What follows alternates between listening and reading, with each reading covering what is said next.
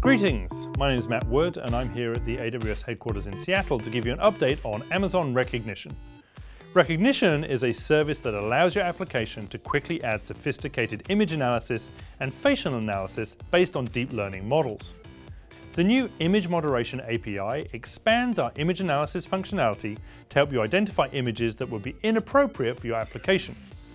As applications grow, it can be really expensive to maintain a dedicated staff to moderate images manually. In the absence of that, you can be left relying on your users to flag inappropriate images so you can take them down, which doesn't provide a great customer experience. Image moderation can automatically detect inappropriate content in images.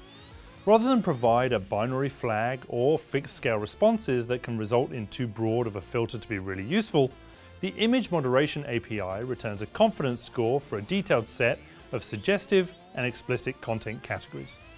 This fine-grained response lets you create your own rules around what is appropriate for the culture and demographics of your users.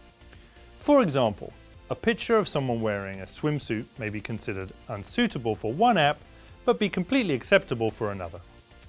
This new API is available today for all users. Just visit the Amazon Rekognition console to get started. Thanks a lot.